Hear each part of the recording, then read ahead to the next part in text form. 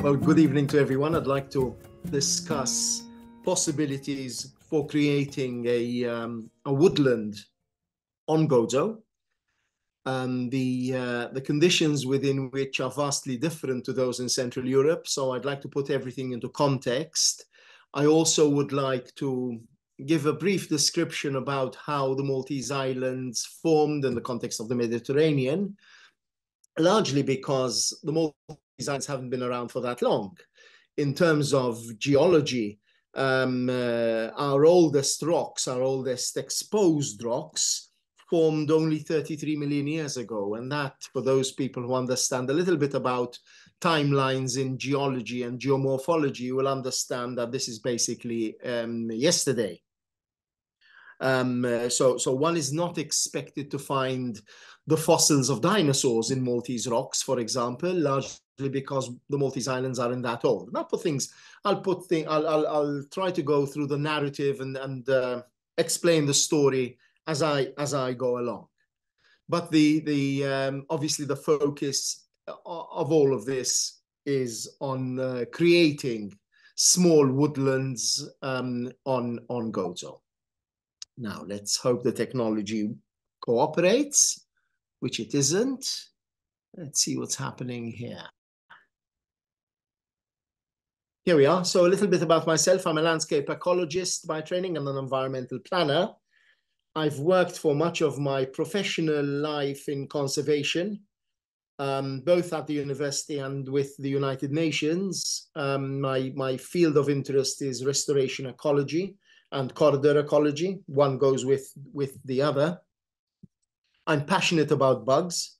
I, in fact, I've been working on insects for much longer than than any other topic or field of of, of interest. Uh, I started out in entomology when I was only 14, uh, still a student in my secondary years, and um, and now that I am I'm a full professor at the University of Malta and at an American university, uh, the University of James Madison in Virginia, Harrisonburg, Virginia, um, and and I'm out on sabbatical for a couple of years working on uh, on the biogeography of the central Mediterranean using using insects as my biomarkers. So that's basically in a nutshell what I what I do. I have very many other interests besides. Right. So uh, the Maltese Islands are located in the central Mediterranean, literally on the crossroads of the Mediterranean, neither on the eastern basin nor on the western basin but in an area we refer to as the Central Mediterranean area. We are politically European, part of the European Union, but geologically African. So we are sitting on the fall, fallen margin of the African plate. I will explain with some other slides um, uh, in a moment. So here we are, um, right between Sicily and Tunisia. You will notice, you will appreciate that many parts of Tunisia are further north than the Maltese Islands. In fact, the Atlas Mountains in Tunisia find themselves um, much higher up than we are. We are on the northern flank of what we call the Pantelleria Rift. That is the island of Pantelleria. This is the island of Linosa, and this is um, uh, the island of Lampedusa, which geologically speaking is part of the Maltese group. Um, uh, so, so here we are. This is what we refer to as the Siculo-Tunisian sill.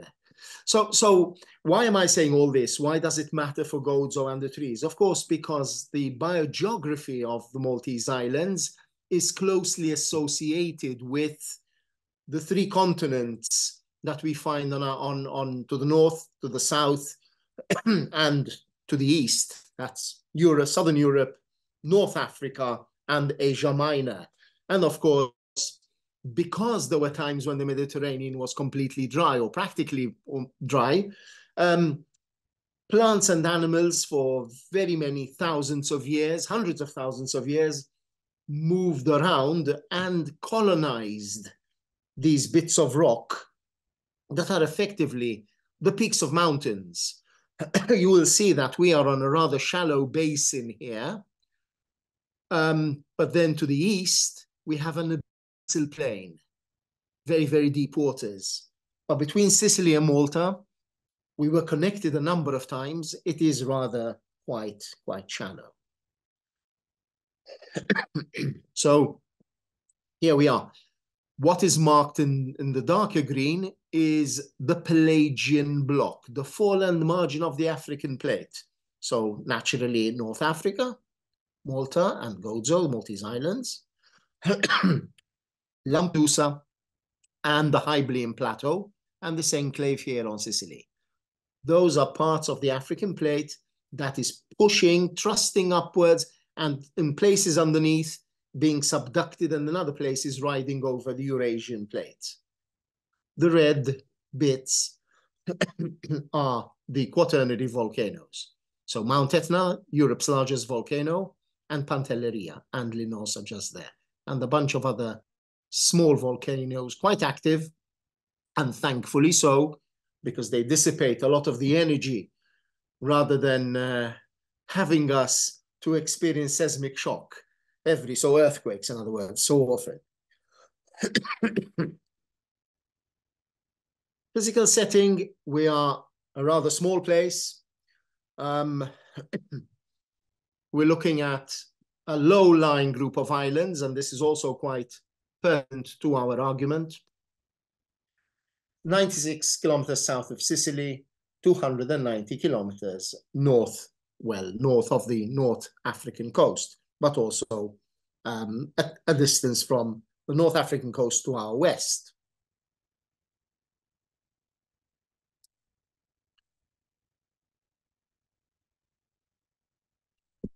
So when we talk of the environment of the Maltese Islands, like much of the Mediterranean, we like to we tend to talk of the semi-natural environment rather than the natural environment because a lot of a lot of what we see is not quite true wilderness, but quite heavily influenced, impacted over the millennia by human beings. Notwithstanding such a small place, um, I, am referring to the Maltese Islands, we still support a very high biological diversity. As a result of our isolation for um, many for many years as an island, we do have a number of endemics. Unlike you people in the north, we don't have a spring, summer, autumn, and winter, but we have a bi-seasonal climate, a wet season and a dry season so technically our spring is an ecological spring. As a result of this prevailing climate, our landscape is also bi-seasonal. So we go from a green landscape, and I'll show you some, some images uh, later, to a quite a dry one in the in the summer. And it, it, it flips literally in two or three weeks, particularly because of the winds. We are quite subjected to strong northwesterly, the prevailing wind is the northwest, um, which dries both the soils and, of course, the, the, the, the seasonal vegetation.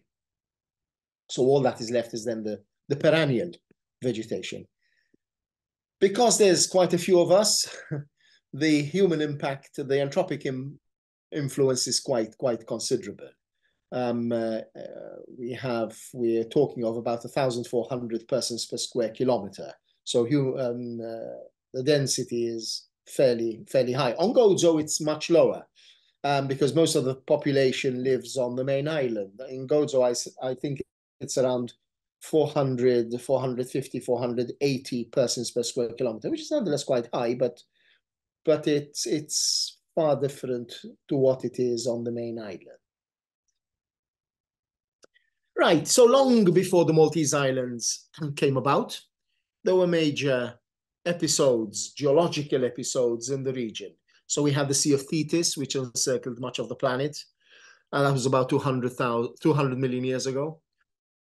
During the Jurassic, 150 million years ago, we had the rifting of the supercontinents in the east-west direction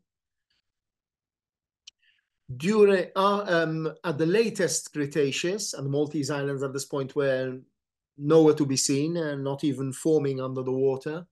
Uh, we had subduction of the African plate, particularly in the eastern basin, creating quite a lot of volcanic activity in in this area. And the volcanic the volcanic arc, in fact, is what it's called. Then some during the early Miocene, we had the anti-clockwise rotation of the Italian peninsula to its present position, together with the Proto-Ligurian block. So we're talking of Corsica and Sardinia also moving along. But the most dramatic episode, I suppose, that occurred in the Mediterranean that had, that had a profound influence um, on, on everything within the basin was the uh, Messinian salinity event. So for a quite quite some time, um, first we had the African plate pushing towards the Eurasian uh, the, the the Eurasian plate at at the at the western basin. So here we had we had the closing of the straits basically as a result of which even with 13 major um, rivers discharging into the into the basin the basin still dried out. The basin completely dried out. Eventually, so it was it was quite quite dry for about 700,000 years. It didn't take long then before further rifting caused the waters of the Atlantic to fill the basin. It when the when the study was first um, uh, carried out in by the Glomar Challenger um, in 1973, they estimated it took about 100 years for the basin to fill up. Then uh, it went down to 70. Recently, colleagues of mine from the University of Malta and, and some German universities as well made new calculations and realized that actually the basin filled up in two years. So it was quite a dramatic episode. Suddenly, you have dry land that is being um, uh, literally um, taken over by marine environment from the Atlantic as the Straits of Gibraltar reopened. What's going on? Here we are. um, so, so when the basin was closed at this end, of course, the Suez Canal didn't exist in the Eastern Basin. We we ended up with hypersaline lakes that soon started to dry up. So technically, Af North Africa and Italy and Malta and Sicily and and and uh, the the the Iberian Peninsula with Morocco was connected, of course. And with that happening, animals were moving back and forth. Um, the elephants were also in in Europe. We know um, uh, antelope family, a variety of other creatures, fauna and flora started to adapt to a new terrestrial environment. Then, of course, the Mediterranean reopened and flooded for the last time to date, because nothing is forever in geological terms. and um, we know that eventually the Mediterranean will again and become enclosed and dry up. We won't be around to see that, but it is a cycle of the continental plates as they move around through through a variety of processes, rifting, isostasy, and all of that. So the bathymetry in the central Mediterranean area is quite shallow, like I said, and on this side we have the abyssal plain, which is known as the Malta Escarpment.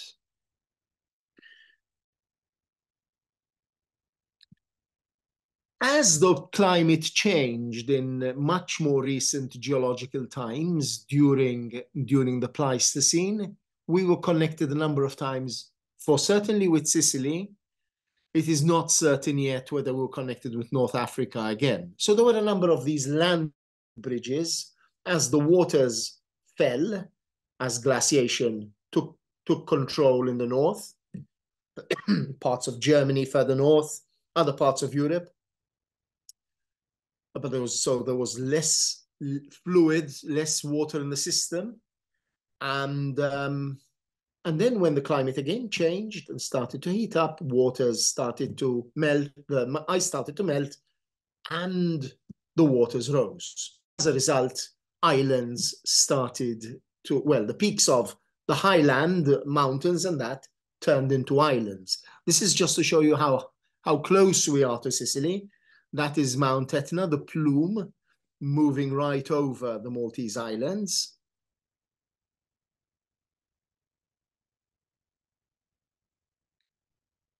And here we are. When the waters, when the waters fell, we get connected. That was during the last glacial maximum or the Würm. I will talk about in a minute, because this is essentially what changed the, the environment of the Maltese of the Maltese Islands and much of this of of, of uh, the Mediterranean. so there were major influxes of animals and plants that came across as the climate got colder. So the start of the Pleistocene, that's uh, 2.58 uh, million years ago. That was the first influx of animals that came across. There was another um, um, regression, marine regression, 690,000 years before present. Yet another one between 300,000 and 490,000 years before present. Then, of course, the last glacial maximum, which essentially started 115,000 years ago, but it peaked some 22,000 years to the last 17,000 years before before present. Sorry, there are some some extra letters there. It's meant to be years before present.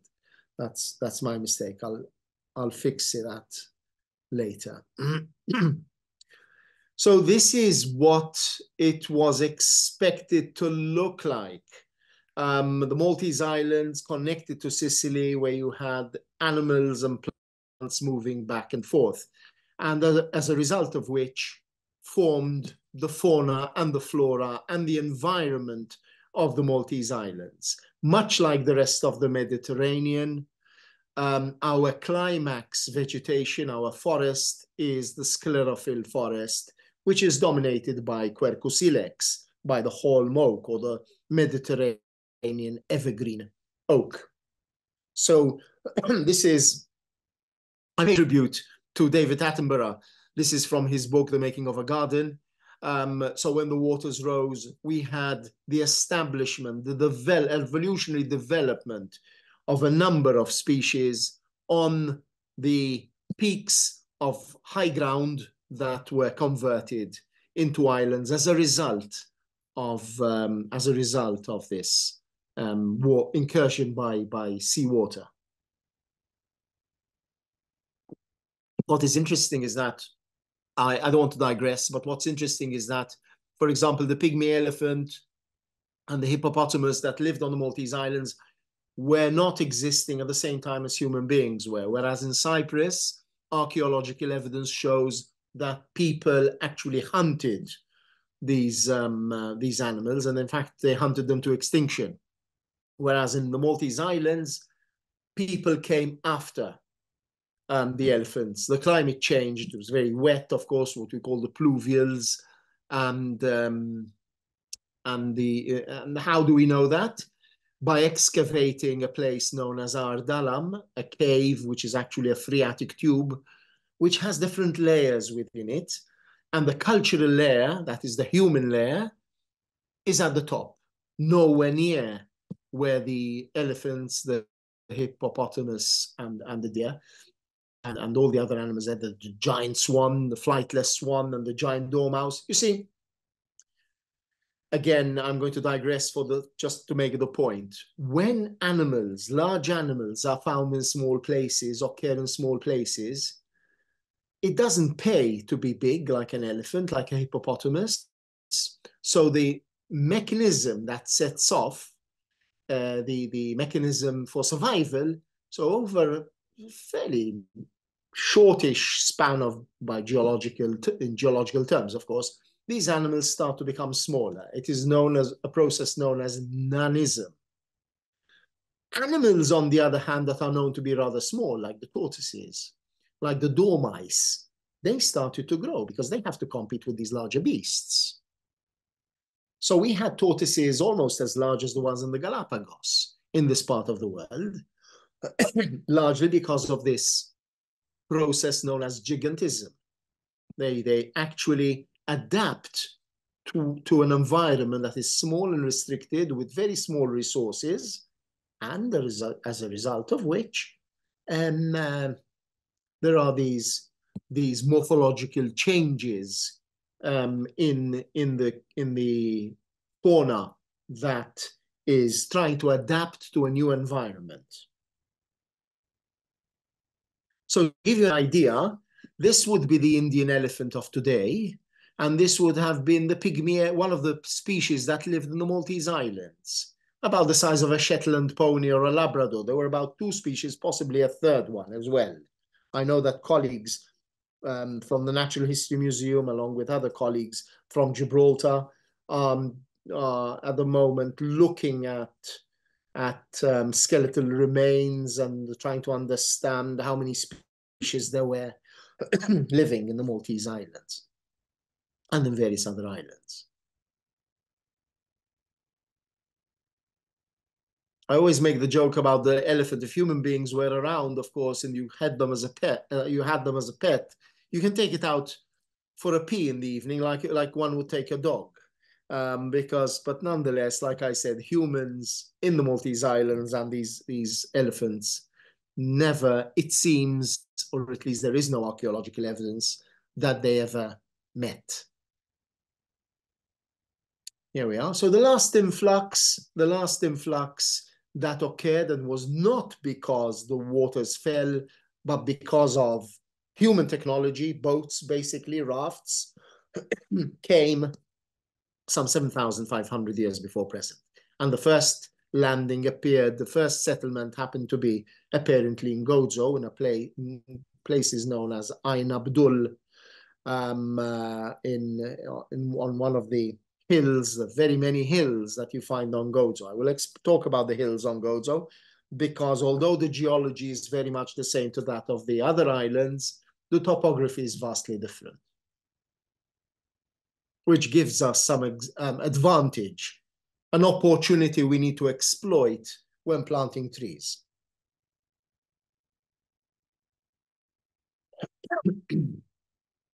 so the Maltese Islands have a total area of 316 square kilometers for some reason this is not cooperating. There's more text that's meant to come up. Let's see what's, ah, here we are. Um, it's a small island group that consists of three inhabited islands. Most of the population lives on the main island of Malta. Um, a much smaller population lives on Gozo, and the mere two individuals live on the island of Comino. Then there are a number of small islands and islets that are uninhabited, but nonetheless very important because of their ecology. Altogether, the islands have a coastline of 190 kilometers. Worried about the technology here. Why? So this gives us some idea of the urban extent on the main island. Just to give you some idea of scale, that is the main runway at the airport. It's a big runway. Um, takes the 747s. This is the island of Comino, where I said only two individuals now live, but obviously visited by very many people. Um, for recreation and leisure purposes. This is the island of Gozo. There's a race course, again, to give you some idea of scale. Now, like I said, the, the geology is the same, the topography is completely different. I'm not sure whether you see on the main island here this line cutting across. Well, here we have a number of faults. This is the Rabat Dingli uplands, and here we have a fault line which cuts across literally the main island. And then from here on to the South Gozo fault, we have a series of um, block faulting or Horst and Graben uh, system. Um, so you have literally crests and valleys, crests and valleys. With Gozo, it's different. With Gozo, there are a series of hills around which there are valleys and plains and um, uh, areas that are quite secure or sheltered from the exposed from, from exposure to the northwesterly wind. And because the topography is different and the, the, geo, the, the strata are quite intact, compared, for example, to the east of the main island, where the, the younger strata doesn't exist. And there's a lot of clay in the system, which gives us water perched from the perched aquifer that I would like to, that I would like to um, talk about further. you need to bear in mind that there are, and these are where the constraints, these are the constraints we face. There are no rivers, no lakes, or mountains. Mountains, of course, you will know, provide water as the temperatures rise through snowmelt. We have none of that. Because we don't have a very high altitude, we have an insignificant climatic gradient. The soils come from the parent rock. The rocks are rather homogeneous, lower coralline limestone, globigerina limestone, the blue clay, green sand, upper coralline limestone, and then the quaternary material after we came out of the sea. Excuse me. So when you had to compare, for example, Italy, which has a tremendous habitat gradient because of the very many mountains in the center, they have more than 270 species of butterflies, the highest in Europe. We only have 22 because we have only calcareous soils. We have no acidic soils, so we don't have the fertilities, for example, that you would have in, uh, in Germany.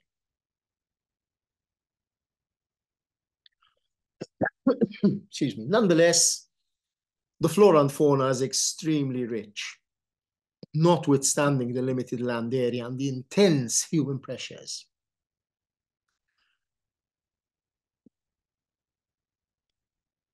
We have some 2,000 species of terrestrial plants, of which over a thousand are flowering, and more than 3,000 species of terrestrial animals, mostly invertebrates, also including um, endemics. Endemics means that they are found nowhere else in the world except here.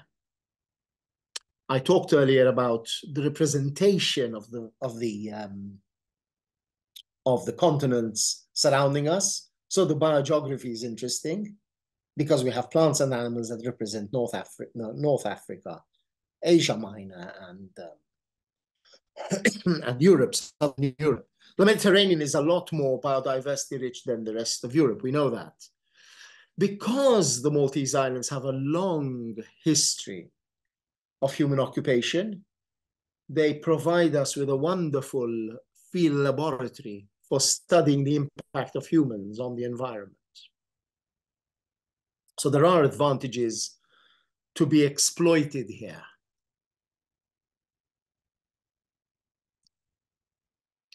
Now, let me remind you that the, the environment of the Mediterranean is influenced by three very important factors, three important elements.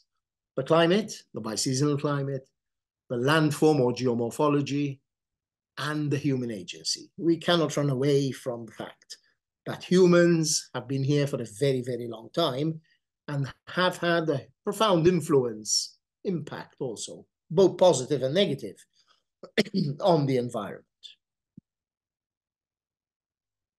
We talked of um, um, endemics. This is just to give you an idea. This is one species of lizard that we find in the Maltese Islands, but on the different islands, you have different forms and distinct subspecies. So the, the lizard on Gozo, Malta, and Comino would look like this one, Podarcis filfolensis maltensis. But the nominate race, and the much larger um, uh, form, is the one found on the island of Filfla. It's this black, charcoal gray, if you like, and blue spot mottled specimen. Then underneath it, we have another quite robust specimen, um, another form, another subspecies, which is which is also which pertains to the Gozitan fauna, because this is found on General's Rock. Whereas the other one, uh, Kieselbachi, is the lizard that is found on, uh, or used to be found on Selmunett on small islands. Unfortunately, we are not sure whether this, this subspecies still exists um, as a result of um, potentially vermin rats perhaps, and, and also human intervention. um, we're not sure whether whether it's still around. Um, further studies will will need to be carried out to find that out. Okay, so the climate of the Maltese Islands. So now enough about the Mediterranean. Let's talk a little bit about the climate. The climate is, like I said, bi-seasonal. It's either we have uh, mild wet winters and then we have hot dry summers, a summer drought. In a winter, throughout the winter, we can have um, um, quite substantial um, period of time where there is no rainfall at all. 63% of the days in the wet season can have no measurable rainfall. In fact, we haven't had rain here for a good number of weeks. And of course, the vegetation has to um, uh, adapt to austerity. And how does it do that? Well, many of the plants either live under the ground, they tide over the dry season as rhizomes, as bulbs, um, uh, whereas the perennial, the trees will have roots reaching out to the um, uh, to, to, to extract and exploit the subsurface um, uh, water. we get around, actually a bit less than 600 millimeters of rain over the year, um, practically in the in the wet season, the islands, like I said, are quite windswept. So less, less than 8% of the year has no wind at all, of uh, you know, uh, measuring a knot. And it's also quite a sunny place. Of course, if you if you're a tourist, it's it's quite fine. But it's not so if you were an early settler 7,000 7, years ago, where there were no rivers, no lakes, and you had to use the water from the spring line. Of course, the population was much smaller and, and more sustainable. But 12 hours of sun pounding down on your crops in July is quite quite something to um, to consider. So it was most certainly not easy, and I'm sure that the existence of the early settlers must have been quite, um, shall I say, frugal, must have been very, very difficult. Having said that, when it does rain, you get these flash floods. um, so you do get water flooding um, areas that um, are at the at the end of a of the watershed of the catchment, and that sometimes happens. So let's uh, take a look, and this is important because we tend to talk about deserts and desertification, and that this is the sort of thing one would expect in the Middle East or in North Africa and the Sahara Desert, you know, Lawrence of Arabia sort of um, uh, setting. But it's not so because in the Mediterranean, um, in parts of Crete, southern Greece, um, in Sicily, in parts of Italy, in Spain, and here, we are experiencing the effects of climate change as a result of desertification. Now, when we talk of desertification, it doesn't, we're not looking at sand blowing and camels and bedouins and, and skeletons lying in the sand. It means that there is the, the, the water regime changed to the extent that the plants are becoming stressed and we are monitoring this throughout much of the su southern shores of Europe. And um, it's pretty evident that this is taking place without a shadow of doubt. Um, naturally, further down, the length of the dry season, further south, particularly in North Africa, it gets quite a bit drier. For example, all the black areas here on the, on the diagram on the right, they experience um, uh, seven dry months. we are getting there very slowly. And when that happens, I suppose, apart from the refugees that we see nowadays, the, the immigration that takes place from Africa because of environmental and also political reasons, um, uh, may happen to us as well in the future. And in not so distant future, we may, in the central Mediterranean, become environmental refugees. You never know, because that is where the trends seem to be heading, regrettably. and if you look at the pluviothermal diagram of the Maltese Islands, it's it's like I said, the very biseasonal, where the rainfall is at its highest, the, temp the temperatures are lower, where the temperatures are highest, like starting from April on to September, very often goes beyond that, although we can get some rains. Um, uh, then, of course, the rainfall is at its lowest.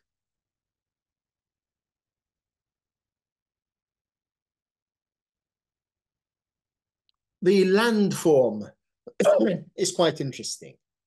The landform is, notwithstanding the small size of the Maltese Islands and Gozo, these are all in Gozo, we have some very interesting, for, for a geomorphologist, it's, it's, it's quite a paradise.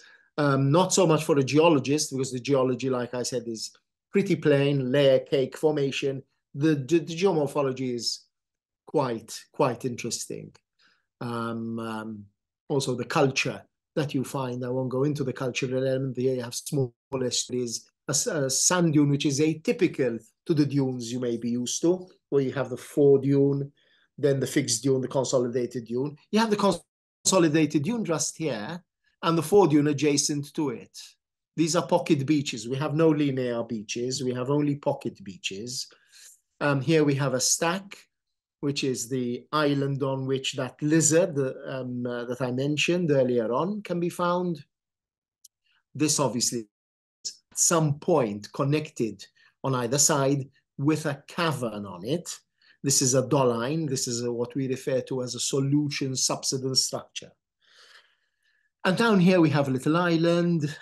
we have the clay slopes coming down, forming a talus. We have a boulder scree. We have a pebble beach which indicates a high energy environment.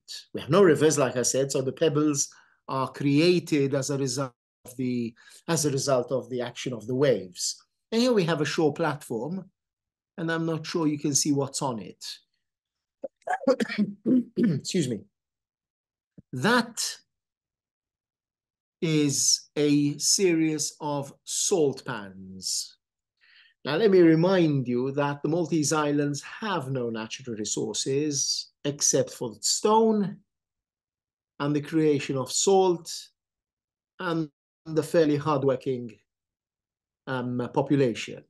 That is basically what the Maltese Islands had always to offer whenever, the, whenever they were colonized. Um, uh, but salt is very important. I'm not sure how many of you realize how important salt is we take things very much for granted. But some generations ago, the refrigerator didn't exist. And the only way you can cure and preserve meats in a warm climate like in the Mediterranean was by putting it in salt or using brines.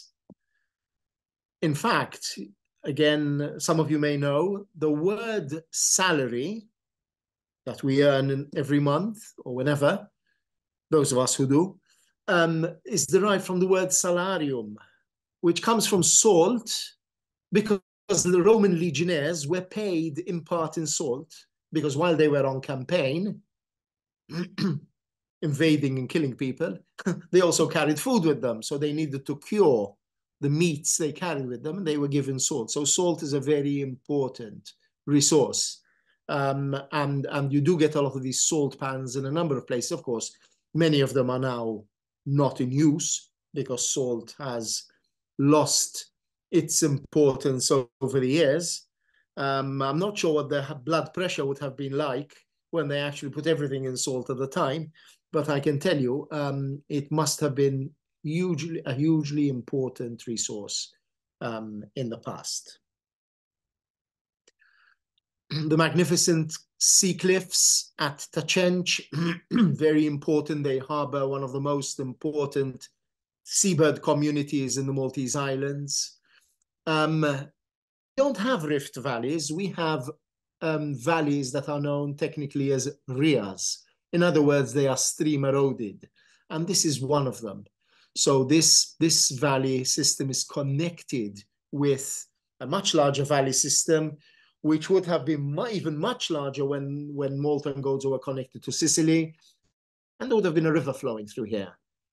This is quite an interesting place for those of you who are interested in snorkeling or scuba diving. There's a very nice population of seahorses in this area.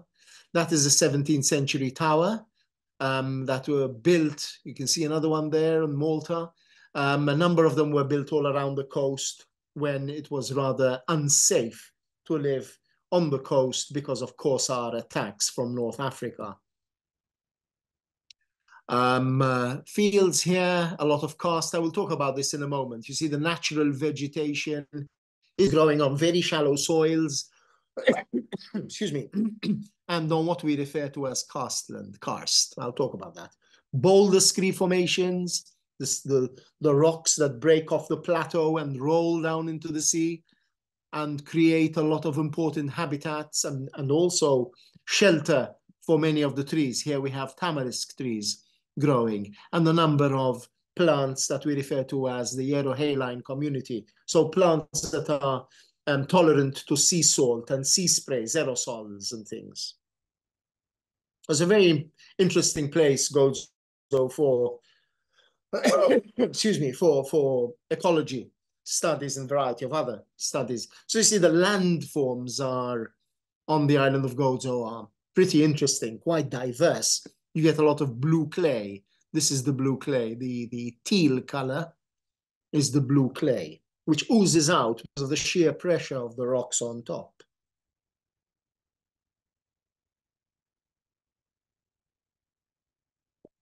So the three dominant landforms on Gozo, there are numerous others, are the hills. You see hills everywhere, plateaus, buttes.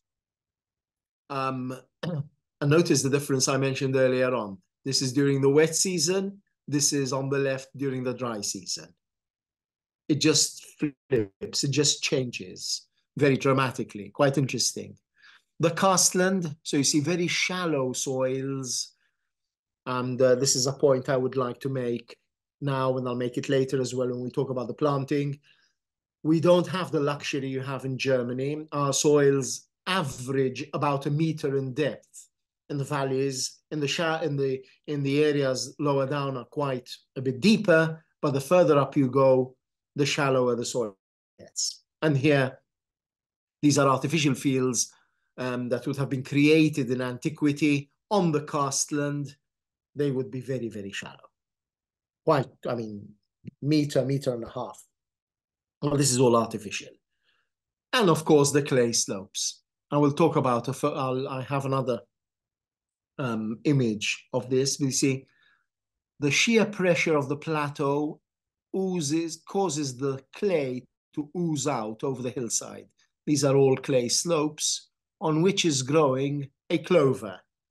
Um, uh, it's a cheap fodder. Farmers don't plant it on their land because they earn nothing from it. So they would rather this they would rather throw seeds across the landscape that will in a sense it's a it's a one of nature's free goods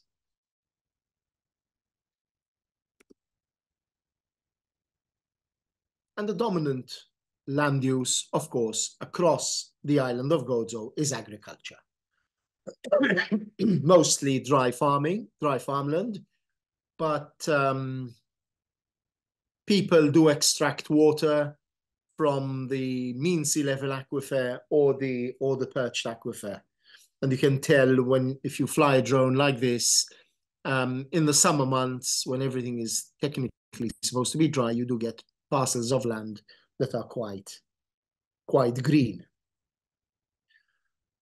So like everywhere else, plant growth correlates with edaphic factors, the soils, the topography, and the human agency, the impact by humans. now, the forests do not, there are no natural forests on the island of Gozo, and there are four to six sites on the main island that still persist. Um, some of the holm oaks are pretty old, over a thousand years old. Um, uh, but at least we have a model with which on which we can rely to to do our thing. Um, it's pointless. So it's, it's pointless planting trees that, even if they are native, that are not supposed to be planted in a particular environment. We refer to that as planting in ecological context. So we plant in ecological context. We plant trees that are supposed to be living on riparian areas, on valleys, like poplar trees, ash, and, and, and willows. We plant them there. We can't plant them in areas away from the water. We also plant using the um, another principle of sociology. So we try to see, to understand the relationship between the canopy, the forest, and the understory. And very often you get a relationship of plants and trees that would normally thrive together.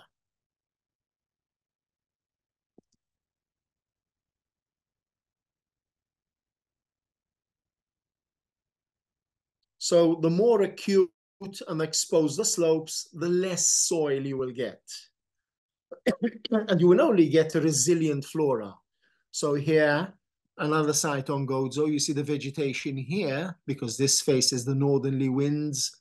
There's little soil, it's very acute. A lot of the soil will come down slowly. Much further down, the vegetation tends to get taller because it's got more soil and more water coming out of the spring line.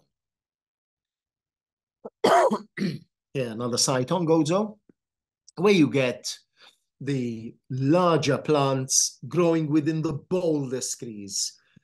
This is an endemic plant here, so you are not likely to see it anywhere else in, in the world, unless it's in a botanical gardens. This used to be Darniella melitensis. It's now, the genus has changed to Salsola melitensis. Very interesting plant of the coast, but very common in Gozo, um, and less so on the main island probably because Gozo is smaller and the influence of the sea hits practically the entire island. This would be Euphorbia dendroides here, the cushion garrig, the cushion, cushion spurge, the tree spurge that you see here. because there's a lot of karst, then of course the steppic environment dominates. This is chamomile. So if you're drinking, as I am, um, a herbal tea, this is what it's made of. And then this is an endemic chamomile that you will find quite commonly on the Gozo coast. Where you have steppe, you have a lot of rock, very, a lot of bare rock and shallow pockets of soil on which very often you get grasses and shrubs like thistles that can withstand the harsh conditions.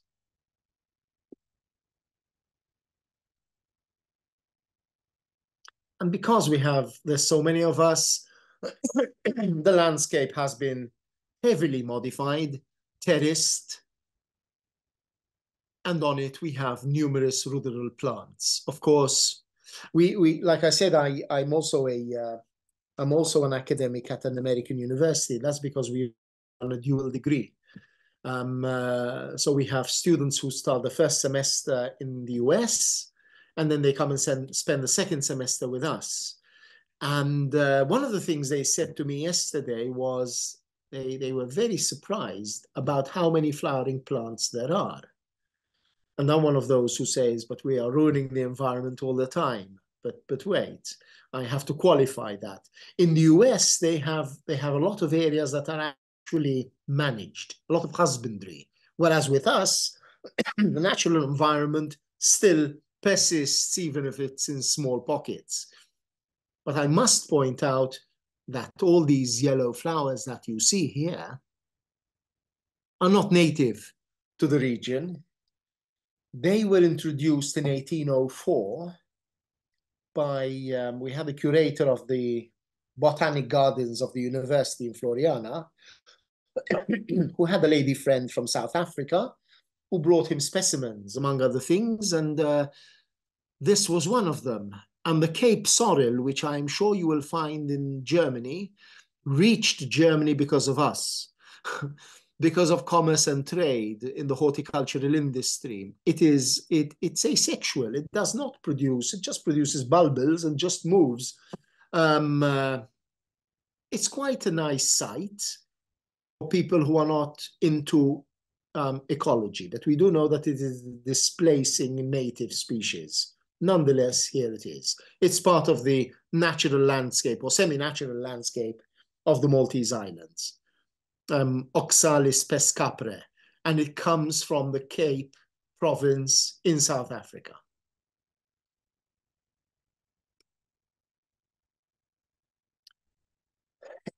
I had to put that in because I spoke about ecological spring and all these flowers are taken in Gozo. When we get ecological spring, which is right now, end of February, early March, excuse me, we have an explosion of color much earlier than anywhere else. Um, I sent some pictures yesterday. I was on in the field with students, and the bloom flower, the flowers in bloom were quite quite spectacular. And somebody sent me back from northern Italy. These alpine flowers are starting to emerge. Um, the ice and the snow is beginning to melt where he is. And, you know, it was quite a contrast. And uh, I don't want to go into the flowering, but the pyramidal orchid is an endemic. Is an endemic. This is a sub-endemic. The stocks, these are subendemics, only found in Malta and Sicily. Um, so there are a lot of interesting plants to, to uh, study and admire. Now, the island of Gozo. The island of Gozo's highest point is less than 200 meters, has a coastline of just over 42 kilometers, and a land area of 67.1, nonetheless a smaller population. and the, the population, what's interesting in Gozo, unlike that of Malta, which is practically all um, uh, one village touching the other large conurbation, in Gozo, they are still quite intact. So they're still quite, as I remember them when I was a kid, um, the village is surrounded by agriculture. It's changing slowly. Um, some people call it progress. Um, I'm not sure. But um, Gozo is a lot quieter, um, except in the weekends when too many Maltese visit. Um, but uh, Gozo is different to Malta. So people who actually work and live in Malta go to Gozo because they find it is um, a lot quieter, a lot more relaxing. They, of course, then contribute to that change. so you see, the villages are still quite intact. Village of Xagħra, village of Nadur, um, uh, you see, they're all, they're all, Żebbuġ is literally cut off. It's on a ridge, on a plateau.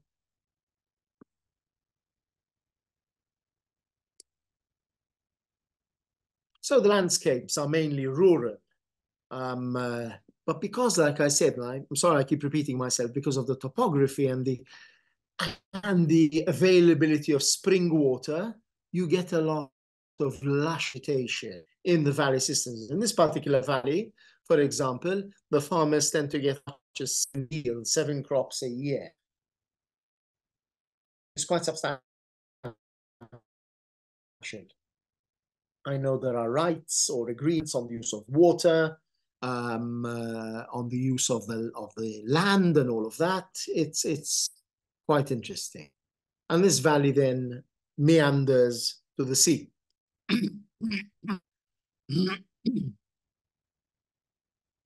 Another landscape which is quite dynamic. This is one of the larger bowl in Gozo. So the land parcels are quite small, but because there's a lot of water in the area, then the farmers tend to get a lot of crops. and the vegetation tends to grow quite well because of the shelter provided by the by the rocks themselves, right? the boulder screes. And I mean, just to give you an example, those rocks are rather large. Yeah? That's a large truck there, a double wheeler. So you can imagine how big those rocks are. That's a tower there, one of the the 17th uh, century early warning system towers.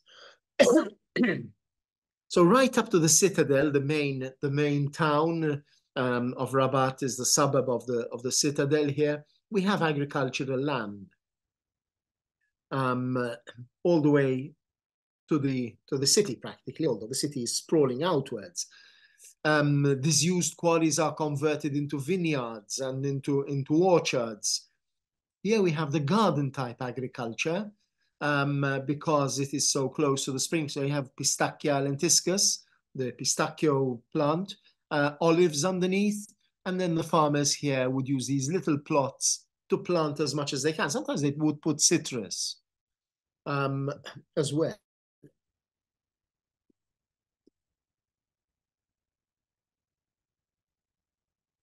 And of course, people need places to live. So there's quite a bit of urbanization. Contrary to Malta, of course, like I said, it's it's quite quite still. I don't use the word under control, but um, because the building industry is not quite under control in this country, but um, nonetheless, it's quite different. so I spoke with Stefan last time briefly, and I did talk of my own little forest. I acquired a parcel of land on which I started planting some trees some 11 years ago. Um, and I acquired trees from here and from there, from the NGOs, and I started planting and watering and started to grow.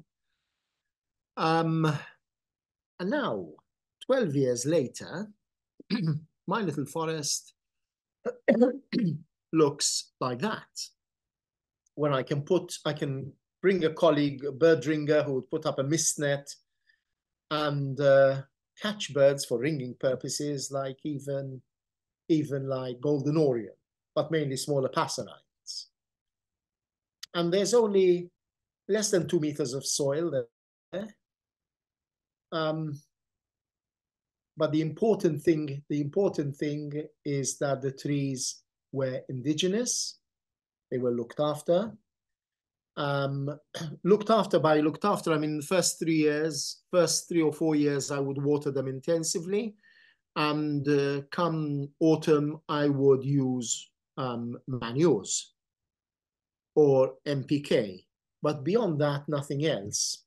Pesticides, of course. In fact, there are hedgehogs and chameleons and various other micro mammals and, and lizards and geckos in there. Um, uh, and of course, birds. Sardinian and spectacled warbler would breed there.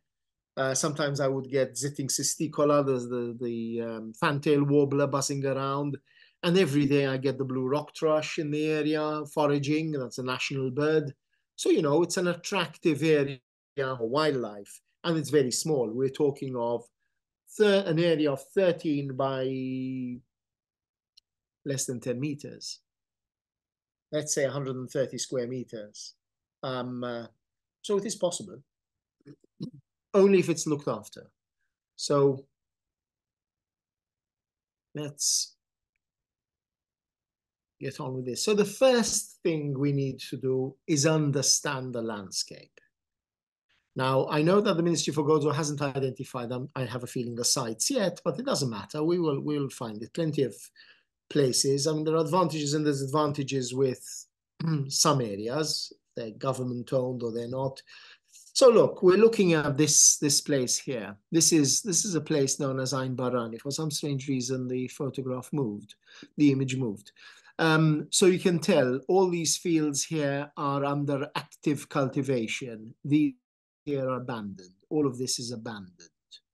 Um, we have vegetation coming down the valley and down the slope here. What does that tell us? It tells us there is subsurface water. The Arundo donax, the great reed, is, the rhizomes are actually growing and extracting water from the ground. This is an area which has a lot of water because of the perched aquifer. So the water comes down as rain on these rocks. It goes through very slowly. It comes to rest underneath here on the blue clay. And eventually, when it is saturated, it starts to come out wherever there is a fault. Uh, that's where our spring line is. Mm -hmm. What is going on? Our photo has disappeared. Strange. Now I'd like you to look at the different soil types. You can see a reddish soil at the top here. That is a terra rossa. Looks very nice, but not good in areas where the wind blows. It dries up very quickly. Soil here has a lot of clay in it. You can tell by the color. so it tends to get parched in the summer, but it has water retention capabilities that are a little better. Then you have soils here. Oh, just a moment. You see the yellowish soil there? That comes from this rock here. It's the same rock that nourishes Ramla Bay, um, where I showed you the, the estuary and the sand dunes. It is um, the transition between the upper coralline limestone and the blue clay. It's not the green sand itself. It is the Għajn Melel member that gives us that color. That tends to be a, quite a good soil, but it needs nourishment. But the best soils are naturally these, the one, the carbonate raw soils, the, the xerorendzina soils, which have a little more detrital uh, material in them which is which is I think important. The Terra Rossa is, like I said, lovely to look at, quite picturesque. You see, you see these red reddish fields because of the iron content within it. Um, but then, of course, it's plastic. When it dries, plastic in terms of geomorphology. When it dries, it becomes very brittle. Um, and you can't put plants in it in a roof garden, for example, because they won't last. It's a rather interesting place. Um, uh, even if there are Gozitans on the uh, online, they may not even know this place. This is known as Għajn Barrani, and it's not easily access. It's access to it is not is not easy because one has to park the car a distance away and then come here and come down through this little valley. Oh, now I know where the photo moved because I had that. okay. So here's, you see the color of the sand here. the color of the sand comes from this rock here. Um, so you see, it's a very dry landscape. This is a photograph taken um, during the dry season. Actually, this was taken, I can tell you when, because I was with students finishing their dissertation. So that was taken at the end of May, um, which is already quite a imagine what it would look like in August.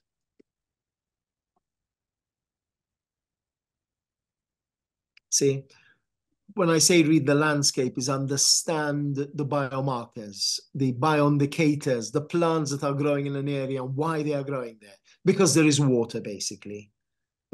There's no life without water. Um, and we don't have cacti. So it's a semi semi-natural environment, not a. am uh, sorry, it's, it's a semi-arid environment, not a hyper-arid environment.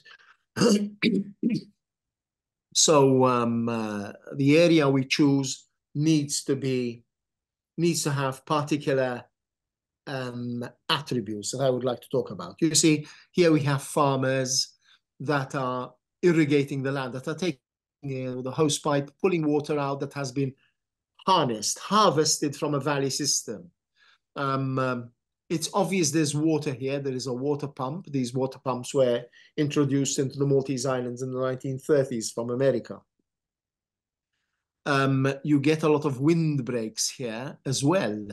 Um, you see the bamboo, the, the, the sort of bamboo. It's not actually a bamboo. Um, it's, it's actually reeds, great reed that they use as a wind break.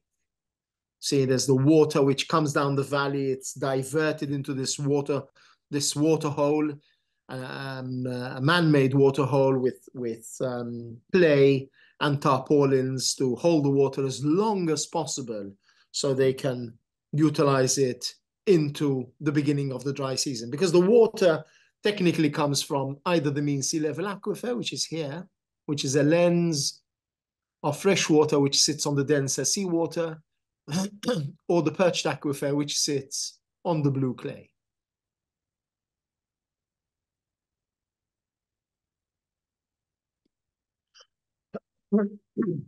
So the pros and cons, of course, it's a semi-arid climate.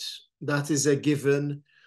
Water retention capability of some soils is lacking, while in others, it's better if we use if a clay in the soil, such as this one. Uh, disadvantage is the soils, that is that the soils are quite shallow, and there's quite a bit of land use competition. Um, uh, a lot of people, small land area, it's a natural phenomenon.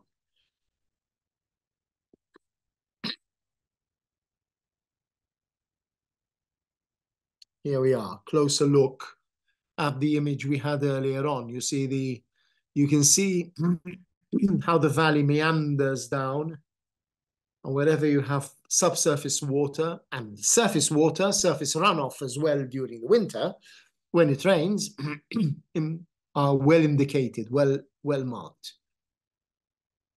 Good soils here, there's a lot of, there are orchards, there are perennial trees, um, quite a bit of agriculture. This is the village of Xagħra. And here there used to be a waste, um, a, um, a, tip. It's been converted and it's being rehabilitated. Um, it, they did quite a quite a fine job, I, I must say.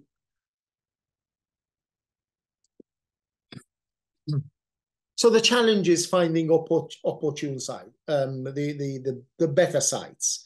They need to be ideally state-owned unless we're looking at um, uh, private-public partnership, and they need to be accessible. They need to be near a water source, and that the soil type is adequate, and it has mm, um, likewise good depth. if we are to use rotary cultivators to um, uh, embellish the soil and all of that, it, the topography mustn't must be quite lenient, it mustn't be too acute, and ideally not too exposed, depending on the plants that we choose. Again, please look at the contrast between the dry season on the right and the wet season during on the left. Notice how much abandoned land, like everywhere else in, in uh, the Mediterranean. Young people don't work the land. They'd like to go to university. They'd like to study. They'd like to earn money. Um, so a lot of the land is being abandoned. A, all the brown bits here have been abandoned. There's some cultivation here, here, and here, and here, but all of this is abandoned. There's cultivation here. Again, you notice where the cultivation is, the green, where you get the yellow, the, the flower I showed you earlier on, of course, that's all either fallow or recently abandoned.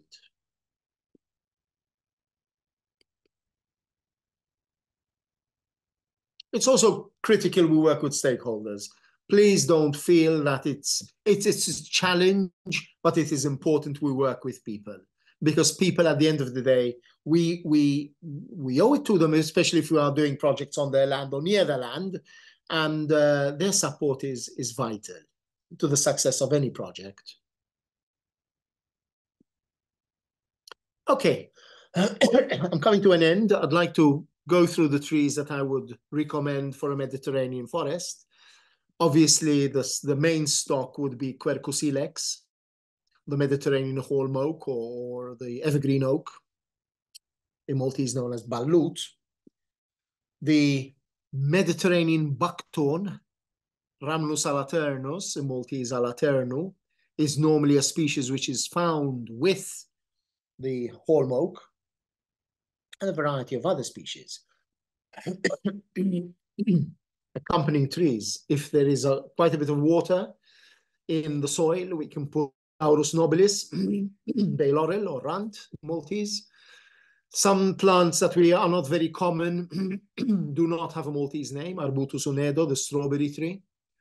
Um, fairly common in other parts of Europe and the Mediterranean, but not common in Malta. Um, Myrtus communis, the myrtle. We have a number of place names named after it in Maltese, with Rehan, um, Moraine Rahana. Um, this is the plant. Sometimes we tend to bring other subspecies of this myrtle from uh, Italy, which has smaller leaves. Ours has the larger leaves, the much larger leaves. And it's important we use local stock, of course.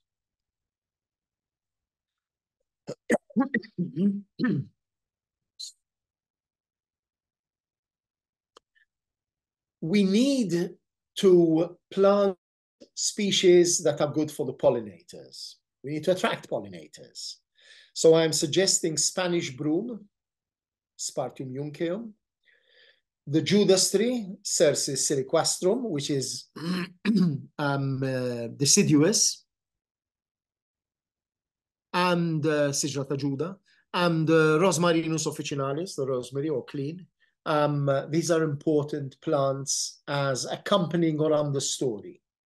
These are hugely critical because the end of the day, we're not planting species in a greenhouse. We want it to be alive and we want not only um, active microorganisms in the soil, but we also want the pollinators to, to come to our site.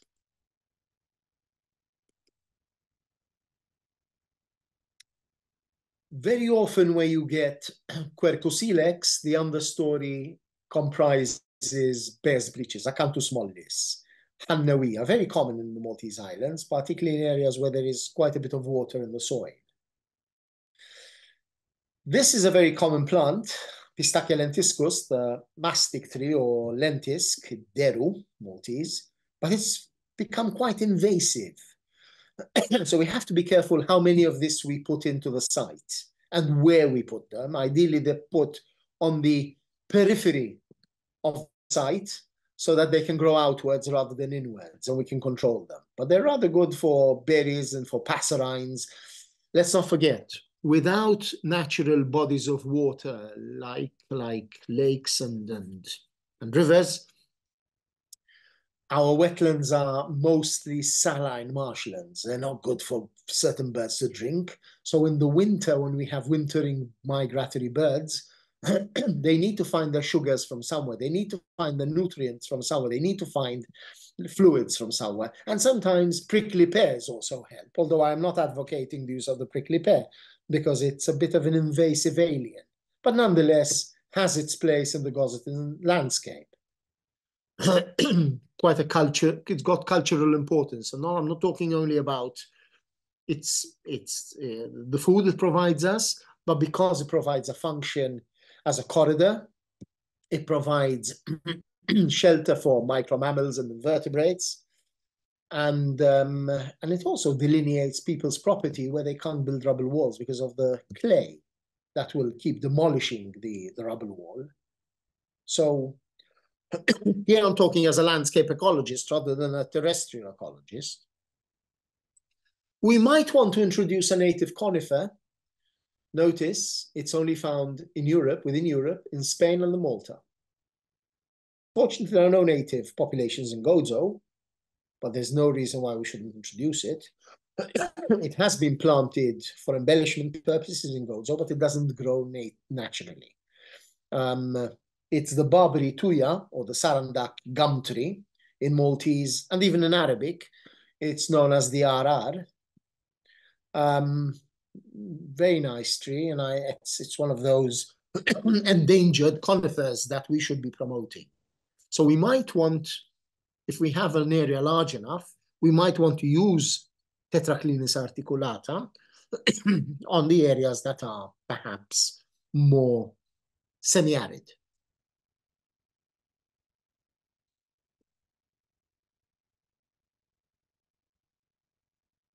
And of course, why should we forget the archaeophytic trees?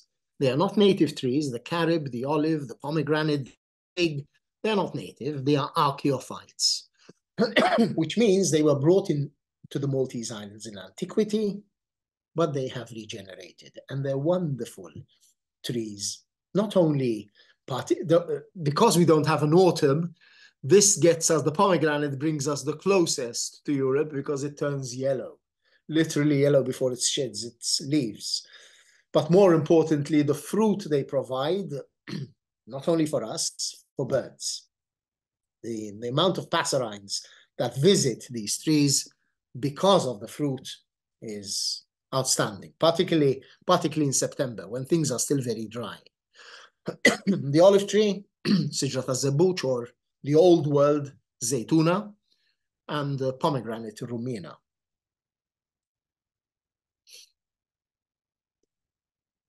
And here we are. I come to an end. I'd like to thank you. Not sure where, where, what happened there. There we are. Um, uh, it, something just came up. Microsoft PowerPoint would like to access the camera. Allow. I haven't done anything to stop it.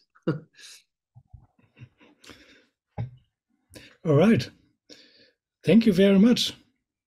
That was quite interesting. I have one question. Um, mm -hmm. Can you tell us a bit more about irrigation? How can we get uh, water in this area uh, regularly and over some time of period? Well, I was hoping, I was hoping um, the ministry would have chosen the site already, but they haven't. They're looking at sites, so it all depends on the site they choose. So there are a variety of ways. They can either bring in water using a water tanker, a bowser, or they can they can have water on site already. It all depends on where the site is. Um, if the site is one in one of those areas I showed where there is a seep, there is seep, natural seepage, then of course we won't need to water so often because the shelter, the, the, the rocks might provide, but also the water that comes from the spring line, from the perched aquifer. It will all depend on the site that is selected. Mm -hmm. Okay. So that would be a quite good task for the, well, probably for the GOZO uh, students to find out as, as soon as we have the location to find out uh, about the irrigation, how how we get the water there, how often. Sure, but that is something. Sorry to to yeah, interrupt no you. Um, that would be something that the ministry will need to help out on and uh, and direct us. yeah, because the site is the crucial. The the selection of the site is critical. Yeah, right. For the reasons that I have mentioned. Yes, yes. Okay, uh, are there other questions by the students, by the people who are listening to us? Well, uh, I have a question uh, concerning the soil. Um, you had this uh, map of um, the different soil um, layers in Gozo, and it was to be seen that there is uh, a lot of this uh, blue clay. Um, but you said the best ground was the um, the Rendzina, when I got you right? The Rendzina, the carbonate raw. The carbonate mm -hmm. raw would probably be better. um, the reality is that a lot of the soils have been mixed um, uh, over the time over time because soils from the upper reaches move down through by gravity through natural um, uh, processes of mass movement but also because from time to time the ministry clears valley systems from silt and then gives the farmers truckloads of soil that has been cleared from valley systems. Ecologically, it's not ideal, of course, but from the point, from the cultural point of view, um, farmers that have been losing soil because of strong winds and all of that, and natural erosion processes, um, would would cherish that, and then they mix it in. Some people just dump it there and uh, and use it as a topsoil. Others would use rotary cultivators to mix it. Mm-hmm. Now, the, I'd probably preempt what you are about to say. We because Gozo has no forests left and hasn't had forests for a very long time, probably dating back pre the time of the night of Saint John, probably even the time of the Romans. The the forests were gone. um, and the forests were gone mainly for fuels. People needed to heat water and do very many things with it. um, so there's very little, very little um, detrital remains like leaves and, and branches and twigs falling into the soil and reworked as you would get in a natural forest. So the soils are pretty bare in that respect. And that's why they need to use quite a bit of manure in September. Mm -hmm. Yes, I was just wondering if uh, if there was um, a layer of this uh, clay soil underground, which uh, you said uh, has a good um, water um, storing capacity. This would be uh, of benefit to the plantings uh, above. It all depends on the strata of the read of the site that is chosen. Mm -hmm. Whether it's above the clay or, or, or beneath the clay. If it's on the yeah. Globigerina limestone, it is unlikely that you will get clay in it, unless, unless of course, somebody put it there. Mm -hmm. Because, like I said, it would have been brought in through the government ministry um, in a truck. Yeah. And concerning your own garden, um, what kind of um, soil is there on the ground, if I may ask? it's interesting. I had no, I didn't have much of a choice. Well, I did choose carbonate raw soils in the beginning, but then the supplier ran out and he started bringing me a mix of Xerorendzina with Terra Rossa.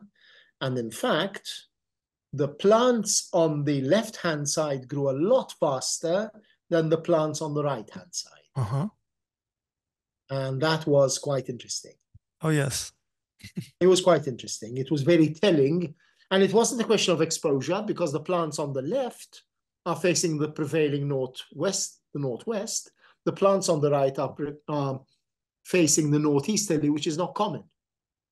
And yet, because the, the soils were poorer, it took them a longer time to to now now everything is fine they're getting along quite well i suspect that the rooting system has moved across from one side to the other. Um, uh, I don't use drip irrigation. I'm not keen on drip irrigation, although many horticulturalists will tell you it's a good idea. I find in a windy place like Malta and Gozo, of course, when I say Malta, I mean the Maltese Islands, where you have the drip, you tend to get the rooting system forming underneath the pipe where the water is. And it does not, the roots don't venture away. So then you have very strong winds and the tree will topple when it's big. I have I have a Populus alba poplar tree that is about two and a half stories high. If I had drip irrigation when before it sheds its leaves, it would become like a sail in strong winds, and it would it will most certainly topple over. So um, so yes, I, unfortunately we don't have as my father would have had and people before me um, would have had the choice of the better soils. Mm-hmm. Now is what you what you find is all you will get. I see. Okay, very interesting. And uh, thank you. Um, I do apologize for my for my coughing. No, no, no, no, no. Uh, we're we're just happy you're here. You know.